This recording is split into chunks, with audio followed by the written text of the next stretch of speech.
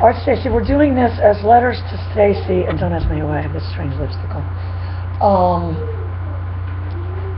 and we're doing it as why you shouldn't play tug of war, because I know there's all kinds of videos, and people tell me, oh, we saw videos that say to do it. I'm gonna tell you why. My little precious. Oh, precious, precious. Um, and that was why I just posted that video, of war video. The, the reason is, um, that, you know, in the social structure of dogs, which is very, very loose, very, very loose, it's not. I I want you to think of it sort of like, you know, yeah, we have a pre- president of the United States. Are all of us running every day, validating to this president, you are our president, you are our master. No, we're living our little lives. This is what dogs do too. For the most part, they're living their little lives. Um, you know, and, and, you know, bouncing off what you're doing. So I will tell you, the only individuals that play tug of war are peers. And that's why, by not doing it at all, you're better off than doing it. People that say, well, we don't let them win.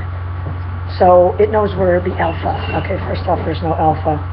Second off, um, it, it really just sets up a conflict for later on that I didn't win this time, but it opens up the door for later on I will win. And, and Stacy, it's kind of like this um, on Seinfeld where um, George's father had the Festivus. Do you remember that one, Summer? Instead of Christmas, instead of a commercialized Christmas, uh, he had a Festivus. He made up this holiday. It was just this pole, and um, then they had these. They had well, yeah, they had these flashbacks to. I'll find it. The episode showed you, but they had these flashbacks to George's childhood, where you know part of Festivus was these feats of strength. You know, where the dad was like arm wrestling George, and he started crying and everything. You know, so I mean that's what tug of war ends up being. That you're sort of, you know, saying we're going to have feats of strength, and I mean uh, huge majority of people are not going to be physically capable of doing it. But, but what you're doing when you do that is immediately stating, I am your equal. I see myself as your equal, and so we will fight over the little carcass of the rabbit, the last little scrap of food, sort of hardwired into us from our little wolf days. And that's what that was. That was like a little squirrel pelt or something that they were pulling on. You couldn't really see it, but that's what it was. But if it was a real squirrel pelt, would have already gotten pulled into a bunch of pieces. And, um, you know, so that's why you don't want to engage in tug of war because you immediately say, I am your peer. They don't need to hear any more than that. They say to themselves, walks like a duck. And I'm telling you right now, that's how it goes. If people say to me, we um, didn't do it that much, my response is always a very dejected that you did it at all. Said, you know, stated facts about yourself to that dog. You know, that you are their peer, you will engage in that. There is a dynamic of vying for hierarchy going on. Whereas, you know, individuals, if I let Eli and Talbot out, I'm, I'm going to tell you what they're going to do. Now start playing tug of war. Oh, Summer's going to oh, have to take you back to the crib. Oh, she's going to have to take you back to the playpen. Careful, careful. Support your little bottom. So that's what you guys have to think of. We don't play tug of war. I mean, I'm not sitting out here playing tug of war with these dogs. You know, I'm teaching them to watch my body language and everything else as subtly as possible. Certainly not doing things like flailing around, shaking a toy around, saying, you know, it's Festivus. Because that really is, I got to show you that, because then it was like the flashback to George, you know, and, Yeah, you know, the dad being real mean to him, you know, saying, you know, like making him arm wrestle or something. You know, I mean, there's a lot of dogs. I mean, we've got dogs here right now. If I said Summer, go out there and start getting them to play tug of war, they wouldn't do it because they so don't see themselves in that role. You've got more impressionable individuals. You know, so that's why I don't believe in playing tug of war. I'm pretty sure these retriever guys don't do it. Schutzhund people do do it, but you have to understand, I mean, that's a very elite caliber of trainer. If you said, oh, there's just all these tens of thousands of Schutzhund trainers, I don't think there is. you know, not in the elite caliber anyway, and so it's, that's all about controlled drive and everything else, so, yeah, they're using that as the reward. Do I recommend that for pet owners? You know, and I mean, do we do that around here? Summer's like, God, I hope we don't start either. Doesn't sound Oh, good. when I do it, I just like vision and pulling on your clothes and stuff or Well, cool, you know, I mean, that's- at- tug at everything and well, bite. Well, and then, and then they don't retrieve. I mean, I will tell you the other thing that you're gonna sacrifice if you play tug of war with a companion dog is you're not gonna have a dog that retrieves. You know, I mean, look at Bumpers, how big he is. I mean, he's a fantastic retriever, and I, I don't know if we got it on video when I, did we, did we video him fetching the other day? When I was doing the demo, and those people were here. Anyway, but he was so purpose-driven to retrieve that toy that that's why he acted the way he did regardless of the distraction of those people, the other dog and everything else, because it was the purpose-driven behavior. But he understood the task and he, he didn't for a moment think that there was going to be any, you know, that there was a possibility that I was going to start tugging on that thing. I've never showed any interest in that toy. you know what I mean? if he, you know, said to the other dog, you know, how interested is she in the toy? They would, you know, she never really seemed that interested, you know, any more than, and you know, and then you get these people that the dog will come up and shake the, the toy in their face and stuff, and that's that's something they've created themselves. You know, and for companion dogs, if somebody trains Schutzhund dogs and says, oh, we do it all the time, and that's fine. I'm talking about companion dogs. You should never, you know, and then people say to me, well, why do they sell tug toys then if they're so bad? Um, they sell beer and cigarettes. Yeah, they sell beer and cigarettes.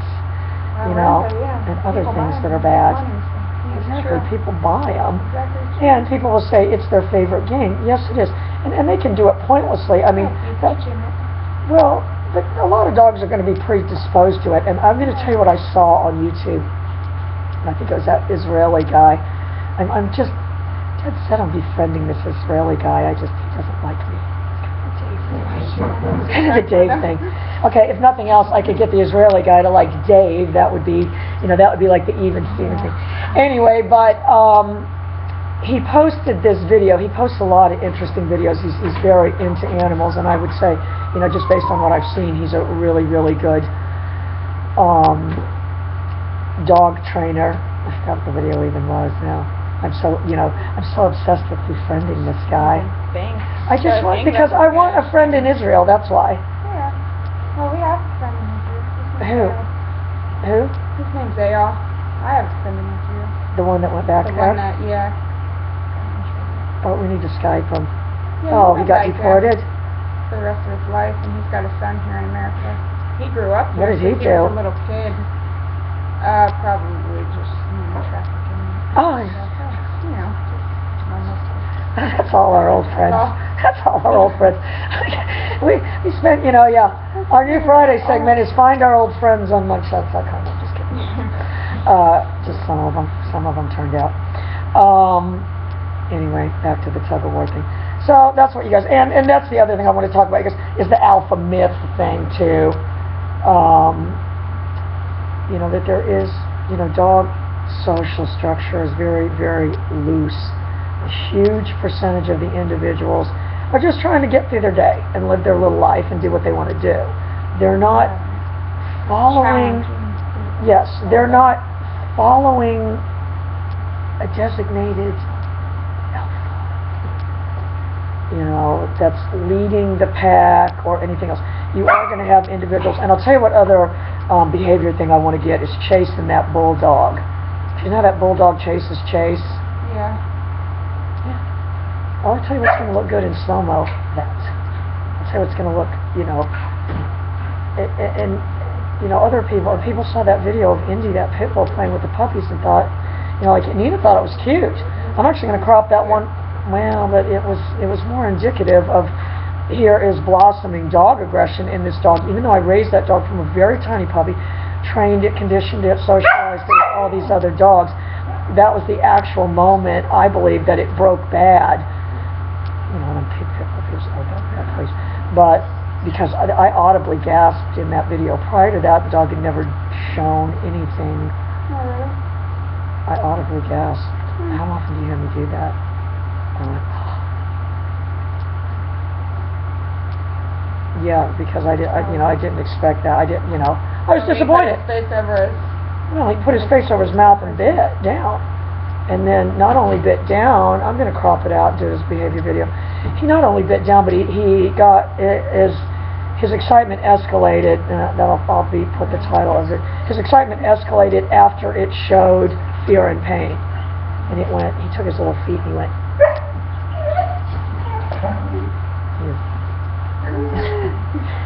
His own little brand is crazy. I no, I, Shaylee Taylor gave them to me. She's got this business. We need to find her on Facebook. She they they have like these termite dogs or something. She oh got. What did they do? like sniff out termites, or maybe no, maybe it was bed bugs. Bed bugs. Bed bugs. That was it. Oh. She got one of the puppies though from um. She got one of the puppies from uh, Bodie Joe Porter's brother. We need to see how it's going. Anyway, guys, so that's the video. I'm going to try to do a bunch more of those, but that's why you do not want to play tug of war in in, in world. You know, the ones that play tug are the peers. By doing that, you just set yourself up for failure. You're not the peer. You're you're Billy Joe Armstrong. You're somebody like they never met before, not a predictable individual like other individuals they met that were their peers that played tug of war pointlessly, endlessly for hours that really had no positive outcome other than building strength.